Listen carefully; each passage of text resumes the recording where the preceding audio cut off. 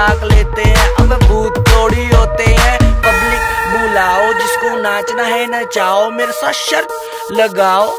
ये ये ये करके दिखाओ।